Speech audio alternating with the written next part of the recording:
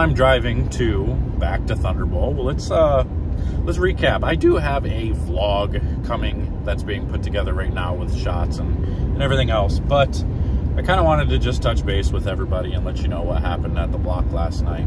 Um, honestly, I drilled that ball, that reality, and it did look pretty good, but unfortunately, the lanes hooked way more. Like, I don't know, maybe they were just a little flatter, like, um, you know, they weren't as tapered, so you didn't see as much hold in the middle and as much hook to the right. I don't know. I saw hook everywhere.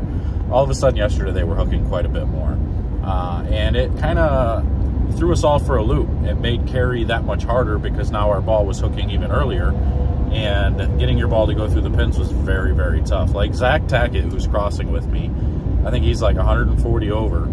Uh, the dude should be like at least 300 over. I mean, he hasn't, he missed the pocket probably three times in two days, you know, so, and I personally feel like you know, I've probably missed the pocket six or seven times in these two days. I feel like I should be a minimum 200 over, and I'm only 80 over. So, I don't know. I feel like I need about 120 over today or so. I think 200 over is probably safe. I haven't looked at the numbers from the A squad this morning, but they slowed down quite a bit yesterday. Um, it, it, was right at 100 over after day one and finished at 140 over after day two. So they certainly they certainly slowed down. Um, you know, I, I threw a couple different balls yesterday trying to find some looks. I think I'm going to be okay on the burn. Uh, once I was able to move further left, my ball was less squirrely. I bowled two teen on the end. I bowled 150 game four, which be, it's because I bowled 220 the game before I pulled out the Eternity. And I just happened to catch a pair where the Eternity looked pretty good straighter. I tried to do that on the next pair, and it was nowhere to be found. The next pair hooked so much more, and I got forced like 10 to 12 left of where I was the game before.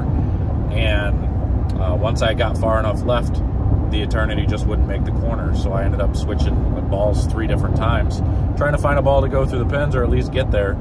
At the end, I finally did. I got the Widow 2.0 that I struck in the ninth and then wrapped a 10 pin in the 10th and then struck in the fill.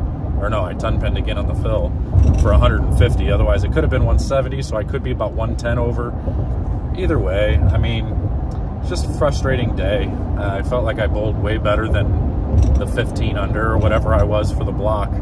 Um, but you notice that from a lot of guys. A lot of the guys that bowled really good yesterday, not so good today. You know, Cody bowled 10 over. Um, Ronnie bowled six under. You know, a lot of guys that bowled 200 over or 150 over ended up bowling, you know, minus today or right at even. So, or yesterday, I mean. So it was just, it was frustrating. It was, I don't know. I was to the point where it's like, man, I just want to quit. Honestly, I was at, I was in a mentally I was mentally fried. I just wanted to quit. I just wanted to withdraw from the World Series and the Players Championship and just kind of hang them up for the for the year uh, until the regional season. But it's like I don't know. We'll see how today goes because I mean I'm not a quitter, but I obviously need to change something. I'm seeing something wrong. Uh, I need to get with some people and start having some different conversations about what I'm seeing. You know, because I can sit there and I can coach and I can get people to do what I'm seeing from them, and they can sit there and strike forever. But as soon as it comes to watching my own game, watching my own ball reaction, for some reason, what I see isn't the right thing. You know, so I can sit there and get somebody else lined up and get them in the right ball and they're doing all the right things. But for myself, uh, not so much. So I gotta I gotta do some change. I gotta make some changes. I gotta I gotta do some more studying. I gotta get into a class. I gotta go to Bowl U or talk to Brant Angelo and Rick Benoit or or something. I just need to I need to see it different. I need to change my eyesight. I need to change the way I'm seeing things for myself.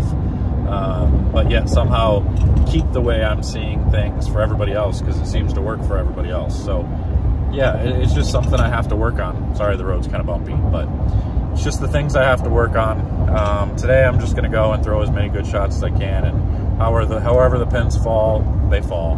Try to get to 200 over and hope that's enough. But I mean, that's not asking a lot. That's a little over two. That's 225 a game. So Uh, that's not a lot. That's not a huge score. That's just a very, very gettable score with the way they are and being on the burn, where there'll be a little extra hold a little hook to the right. Should be very doable. So, I don't know. We'll see what happens, but I'm out of here. I'll show you guys that vlog once it's done. We'll put that up for you. Um, say a prayer for me because need a good block here. We'll see you guys later.